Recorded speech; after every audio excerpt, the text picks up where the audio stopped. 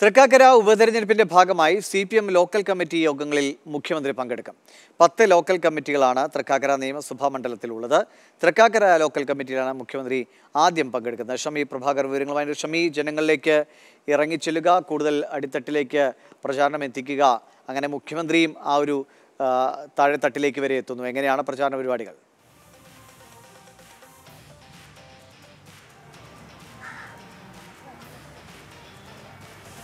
Divish C P M local committee യോഗങ്ങളിലാണ് ഇപ്പോൾ മുഖ്യമന്ത്രി പങ്കെടുക്കുന്നത്. പത്ത് ലോക്കൽ കമ്മിറ്റികളുണ്ട് ഇവിടെ ഈ തൃക്കാക്കര നിയമസഭാ മണ്ഡലത്തിൽ. അതിലെ പത്ത് ലോക്കൽ കമ്മിറ്റികളിലും മുഖ്യമന്ത്രി നേരിട്ട് പങ്കെടുക്കുന്നു. അതായത് ഈ കമ്മിറ്റി അംഗങ്ങളാണ് അല്ലാതെ പൊതുജനങ്ങളല്ല ഈ മീറ്റിങ്ങുകളിൽ പങ്കെടുക്കുന്നത്. കമ്മിറ്റി അംഗങ്ങൾ മാത്രമാണ്. ഓരോ ലോക്കൽ കമ്മിറ്റിയിലും എത്തി കൃത്യമായ നിർദ്ദേശം മുഖ്യമന്ത്രി നൽകുന്നു എന്നുള്ളതാണ്. കൃത്യം പത്ത് മണിക്ക് തന്നെ സി എം ഇവിടെ എത്തിച്ചേർന്നിരുന്നു. ഇപ്പോൾ പത്തേ മുക്കാലാവുന്നു ഇതുവരെയും ആ മീറ്റിംഗ് ഉള്ളിൽ നടക്കുകയാണ്.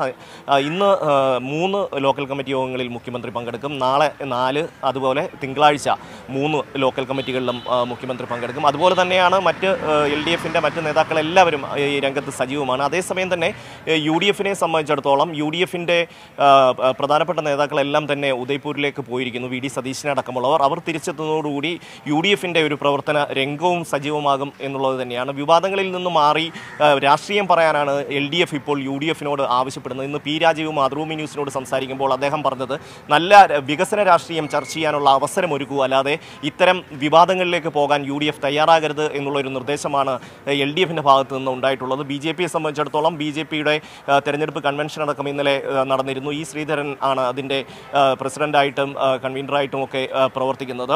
കഴിഞ്ഞ തവണ അയ്യായിര പതിനയ്യായിരത്തോളം വോട്ടാണ് ബി ജെ പി സമാഹരിച്ചത്. ഇത്തവണ അതിൽ കൂടുതൽ വോട്ടിലേക്ക് പോകാനുള്ള ഒരു ശ്രമം അവരുടെ ഭാഗത്തുനിന്ന് നടക്കുന്നുണ്ട്. ഒപ്പം തന്നെ ഈ ട്വന്റി ട്വന്റിയുടെ വോട്ടുകൾ ഏത് രീതിയിൽ മാറും എന്നുള്ളത് തൃക്കാക്കരയുടെ ഭാഗതയെ നിർണയിക്കുന്നതിൽ നിർണായകമാകും എന്നുള്ള കാര്യത്തിൽ സംശയമില്ല. കഴിഞ്ഞ തവണ ഏകദേശം പതിമൂവായിരത്തോളം വോട്ടാണ് ട്വന്റി ട്വന്റി സമാഹരിച്ചത്. പക്ഷേ ഇത്തവണ അവർ. തെരഞ്ഞെടുപ്പിൽ നിന്ന് വിട്ടുനിൽക്കുന്നു പക്ഷേ നാളെ ഉഷാറായി ചൂടോടെ തന്നെ തൃക്കാക്കരയിലെ പ്രചാരണ പരിപാടികൾ മുന്നോട്ട് പോവുകയാണ്. മുഖ്യമന്ത്രിയൊക്കെ നേരിട്ടിറങ്ങി തന്നെയാണ് പ്രചാരണം.